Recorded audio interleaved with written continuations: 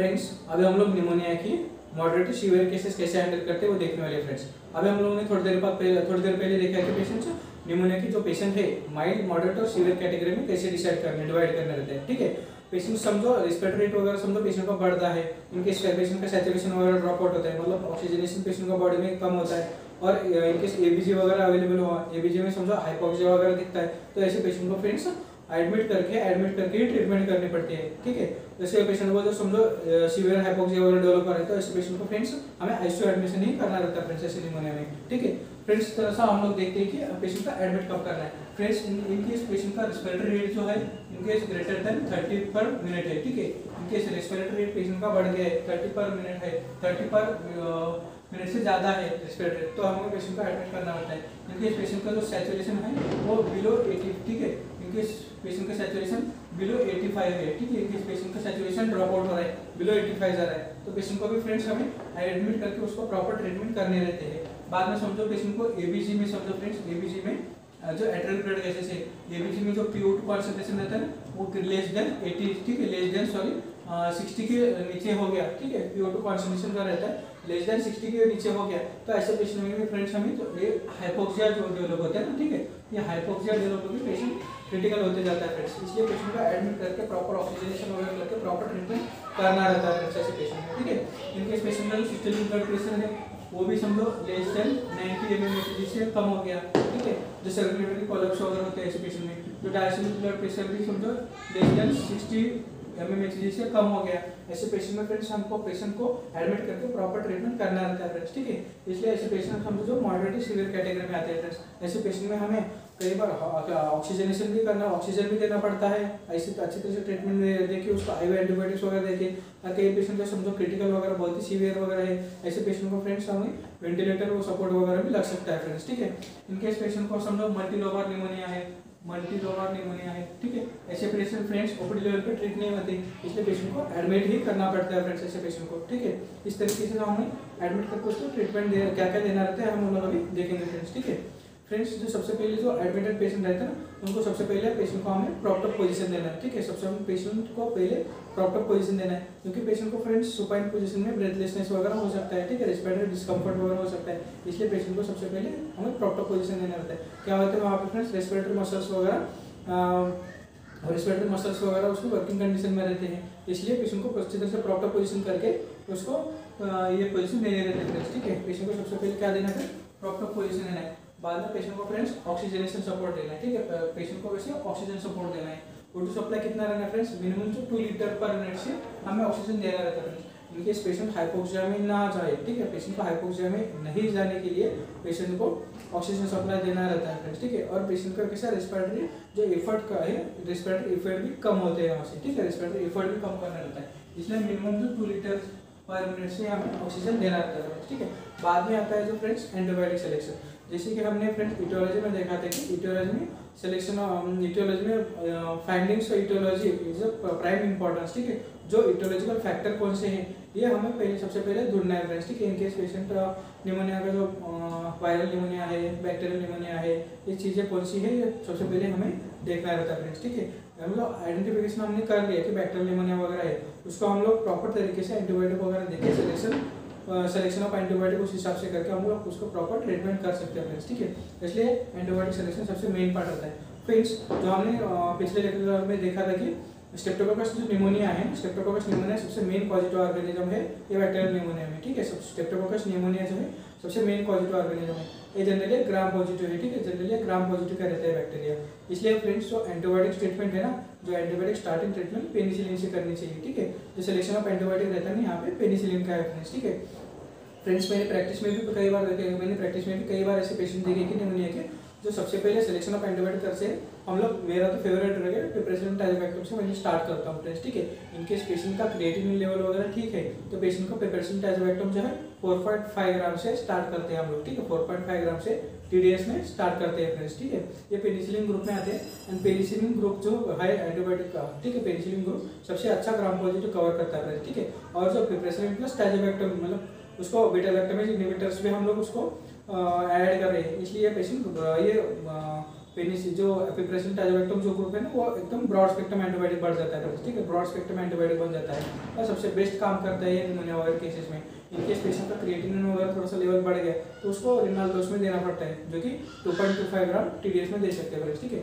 जब हम देखते हैं कि हम लोग पेनिसिलिन ग्रुप कैसे यूज़ करना है, ठीक है? For community acquired pneumonia the first line of treatment the first choice is generally penicillin ठीक है? जैसे मैंने जैसे मैंने कि बताया था कि पेनिसिलिन ये कैसा है? स्ट्रिक्टली अच्छी तरह से ग्राम पॉजिटिव बैक्टीरिया कवर करते हैं। और जो हमारा जो निमोनिया है ना, जो मेनली स्टेप्टोकोकस निमोनिया जो है, वो ग्राम पॉजिटिव बैक्टीरिया है। इसलिए जो पेशेंट को पेनिसिलिन ग्रुप में अच्छी तरह से रिज़ल्ट आता है ठीक है? Combination of the piperacillin tazobactam जैसे कि मैंने बताया कि मेरा फेवरेट ड्रग है। Combination of the piperacillin tazobactam is very popular today that is Piptaz नाम से आता है। 4.5 ग्राम आईवी टीडीएस देना पड़ता है फ्रेंड्स इसको, ठीक है? 4.5 ग्राम आईवी टीडीएस देना पड़ता है। इस इन केस जो रिनल फ़ंक्शन वगैरह उसका अच्छे है तो 4.5 ग्राम टीडीएस में दे सकते हैं। इन केस पेशेंट को समझो क्रिएटिन वगैरह बढ़ा रहता है मतलब एक्यूट किडनी इंजरी वगैरह पेशेंट है तो ऐसे पेशेंट में फ्रेंड्स हमें जरा सा उसका डोज रिनाल डोज में एडजस्ट करना पड़ता है। मतलब 2.25 ग्राम टीडीएस में देना पड़ता है। ठीक है? फॉर अदर प्रिफर्ड कॉम्बिनेशन और उसके प्रिपरेशन टाइजोवेक्टम जैसे मैंने पेनिसिलिन बताया कि ये अच्छा ड्रग है। बाद में उसके साथ और कुछ भी ड्रग है, जैसे कि एम्पिसिलिन है। ठीक है? Other preferred combination that is ampicillin plus beta lactamase inhibitors और that is sulbactam can be used ampicillin और बीटा लैक्टमेज इनहिबिटर्स जो वगैरह वो भी कॉम्बिनेशन में दे सकते हैं फ्रेंड्स ठीक है? उसका कॉम्बिनेशन क्या है फिर? Injection ampicillin 1 gram plus sulbactam 0.5 gram मतलब 1.5 ग्राम का इंजेक्शन आते हैं। 6 टू 8 आवरली हमको देने पड़ते हैं फॉर 5 डेज़ के लिए, ठीक है? एक तो हमें प्रिपरेशन टाइजोवेक्टर भी यूज़ कर सकते हैं। ये तो हम लोग जो अवेलेबल अदर मार्केट प्रिपरेशंस वगैरह है, जो एम्पिसिलिन है सल्फेक्टम कॉम्बिनेशन का वो भी दे सकते हैं। लेकिन मेरा जो फ्रेंड्स जो फेवरेट ड्रग है ना प्रिपरेशन टाइजोवेक्टर में जैसे कम्युनिटी और निमोनिया वगैरह। इसके अच्छी तरह से रिज़ल्ट आते हैं फ्रेंड्स मैंने कई पेशेंट ऐसे प्रिपरेशन टाइजोवेक्टर के भी अच्छी तरह से ट्रीट होते हुए देखे हैं फ्रेंड्स ठीक है? इनकेस कुछ उसके कॉम्प्लिकेशन वगैरह आते हैं। हम लोग other antibiotics antibiotics other antibiotics भी है। लेकिन हम लोग धीरे धीरे देखेंगे कि उसका सिलेक्शन ऑफ़ एंटीबायोटिक कैसे करते हैं ठीक है? ये हो गया प्रिपरेशन टाइजोवेक्टर का। अगर friends in case patient allergic to penicillin वगैरह है, ठीक है? इनकेस पेशेंट को हम लोग पेनिसिलिन वगैरह यूज़ नहीं कर सकते। If patient is allergic to penicillin ठीक है? If patient is allergic to penicillin clarithromycin जो है क्लैरिथ्रोमाइसिन 500 mg क्लैरिथ्रोमाइसिन कौन से ग्रुप में आता है? क्लैरिथ्रोमाइसिन कौन से ग्रुप में आता है? हमने फार्माकोलॉजी के लेक्चर्स में हमने पढ़ा है फ्रेंड्स ठीक है? क्लैरिथ्रोमाइसिन कौन से ग्रुप में आता है फिर बताओ ठीक है? क्लैरिथ्रोमाइसिन है ना? जो माइक्रोलिड्स ग्रुप में आता है फ्रेंड्स ठीक है? क्लैरिथ्रोमाइसिन माइक्रोलिड्स ग्रुप में आता है और ये निमोनिया पे अच्छी तरह से काम भी करता है ठीक है?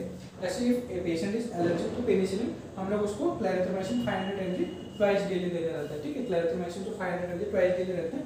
और नहीं तो एरिथ्रोमाइसिन भी है। उसी का एनालॉग है क्लैरिथ्रोमाइसिन एरिथ्रोमाइसिन ठीक है? एरिथ्रोमाइसिन 500 mg के डोज में फोर टाइम्स देना पड़ता है, ठीक है?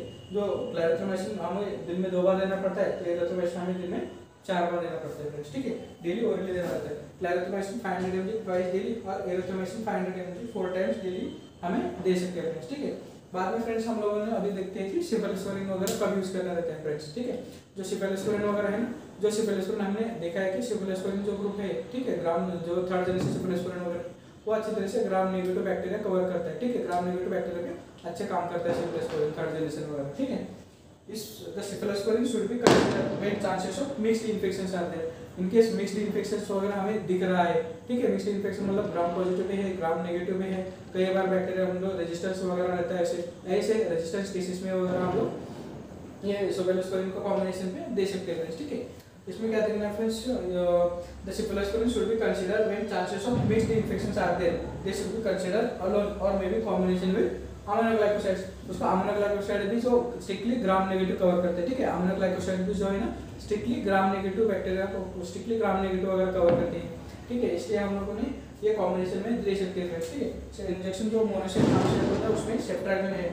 जो है थर्ड जनरेशन से में आता है, ठीक है? थर्ड जनरेशन से में आता है।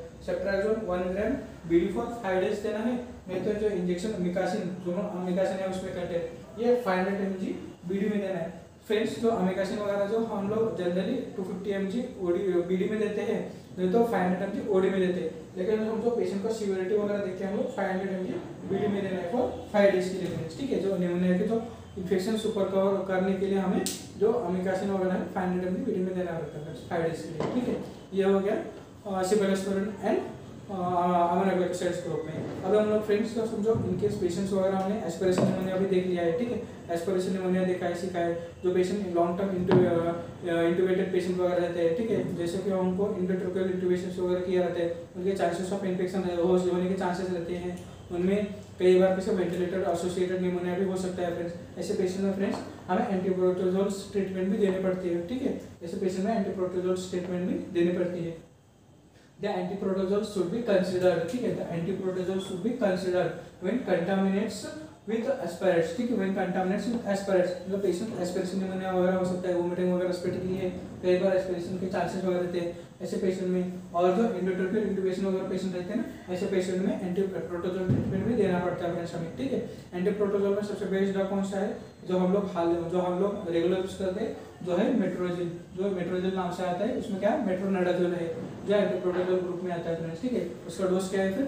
500 हंड्रेड एम जी पर 100 ml में रहता है, ठीक है? 500 mg पर 100 ml में रहता है, उसको बीडीए टीडीएस में दे सकते हैं फ्रेंड्स ठीक है? उसको बीडीए टीडीएस में देख सकते हैं सीवियरिटी के हिसाब से बीडीए टीडीएस में देना डिसाइड करना रहता है ठीक है? फाइव डेज़ के लिए देना रहता है फ्रेंड्स ठीक है? फ्रेंड्स ये हो गया एंटी प्रोटोजोल ट्रीटमेंट फ्रेंड्स कई बार हम लोगों ने देखा है कि पेशेंट सीवियरिटी मतलब उसकी सीवियरिटी ज़्यादा रहती है पेशेंट बहुत ही हाइपोक्सिक है, उसको पेशेंट रेजिस्टेंस केसेस में बहुत ज़्यादा है, उसको प्रिपरेशन टाइजोबैक्टोमा एंटीबायोटिक से वगैरह उसको आराम नहीं मिल रहा है, ठीक है? उसको हम फिर हायर एंटीबायोटिक्स देने पड़ते हैं। हायर एंटीबायोटिक्स में कौन से आते हैं अभी अभी के यूज़ का, अभी क्या तो सबसे ज़्यादा यूज़ करते हैं जो मेरोपेनम वगैरह है, जो कार्बोपेनम ग्रुप में आते हैं ना, जो रेजिस्टेंस केसेस में, जो सीवियरिटी पेशेंट को बहुत ही सीवियर पेशेंट वगैरह है, जो निमोनिया वगैरह, उनको सीवियर निमोनिया है, जो कि मल्टीलोबर निमोनिया वगैरह है जो कि उस पेशेंट को समझो वेंटिलेटर वगैरह सपोर्ट लग रहा है। ऐसे पेशेंट में फ्रेंड्स जो सबसे बेस्ट ट्रीटमेंट जो सबसे बेस्ट एंटीबायोटिक रहता है ना, जो कार्बापेनम ग्रुप में है, जैसे मेरोपेनम वगैरह हमें यूज़ करना रहता है फ्रेंड्स ठीक है? The empirical treatment with antibiotics acting on gram negative spectrum ठीक है? Acting on gram negative spectrum should be considered in nosocomial infection ये नोजोकॉमियल इन्फेक्शन मतलब क्या होता है फ्रेंड्स हॉस्पिटल अक्वायर्ड इन्फेक्शन रहता है उसको बोलते हैं नोजोकॉमियल इन्फेक्शन वगैरह। ऐसे में इंजेक्शन मेरोपेनम देना रहता है।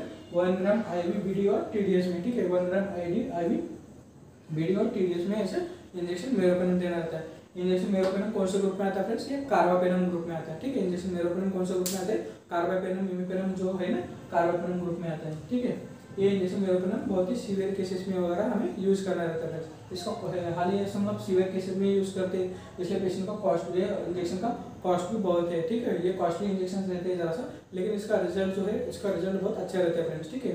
इसलिए इंजेक्शन से मेरोपेनम वगैरह ऐसे पेशेंट में यूज़ करते हैं फ्रेंड्स ठीक है? बाद में पेशेंट को समझो, वे जो सपोर्टिव ट्रीटमेंट रहती है, वो जो नेबुलाइजेशन वगैरह है जो डिओलिन वगैरह है डिओलिन में क्या फ्रेंड्स लियो सल्फेटा बना है, ठीक है? डिओलिन में क्या है? लियो सल्फेटा बना है। जो लियो सल्फेटा वगैरह है, जो ब्रोंकोडायलेटर है, थोड़ा बहुत एलवेला को डायलेट करते हैं और जो म्यूकस है ना म्यूकस को हमें जरा सा स्टिकी म्यूकस रहता है ना म्यूकस को स्टिकी म्यूकस को जरा सा, जरा स्टिकी म्यूकस को जरा सा पतला करके उसको बाहर निकालने के लिए। जो डिओलिन और ब्रोडोकॉर्टिक रेगुलेशन हम लोग दे सकते हैं फ्रेंड्स ठीक है? ये डिओलिन के सबसे बेस्ट जो डिओलिन के रिज़ल्ट में आते हैं, इनके पेशेंट को समझो। इन्फ्लामेटरी मार्केट्स वगैरह जाता है तो हम लोगों को ब्रोडोकॉर्ड भी यूज़ कर सकते हैं। ब्रोडोकॉर्ड में क्या है? ब्रोडोनिस्टॉइड वगैरह मतलब ब्रोडोनिस्टॉइड मतलब स्टेरॉइड वगैरह है इसमें, ठीक है? इसलिए पेशेंट को सबसे पहले डिओलिन का नेबुलाइजेशन देना रहता है। जो इसकी, उसको पेशेंट को आलवेला वगैरह, उसको आलवेला वगैरह, जो म्यूकस वगैरह प्रोडक्शन उसको कम करके उसको बाहर निकालते हैं, ठीक है? उसको जरा सा स्टिकी म्यूकस को जरा सा पतला करके अच्छी तरह से पेशेंट को रिलैक्स मतलब आराम मिलता है फ्रेंड्स ठीक है? इसलिए पेशेंट को नेबुलाइजेशन देना रहता है, लियो लियो सल्फेटा का मतलब लियोलिन का, ठीक है? बाद में इंफ्लेमेटरी मार्कर्स का प्रोटोकॉल भी दे सकते हैं फ्रेंड्स ठीक है? इसलिए नेबुलाइजेशन का भी अच्छी तरह से यूज़ है फ्रेंड्स ठीक है?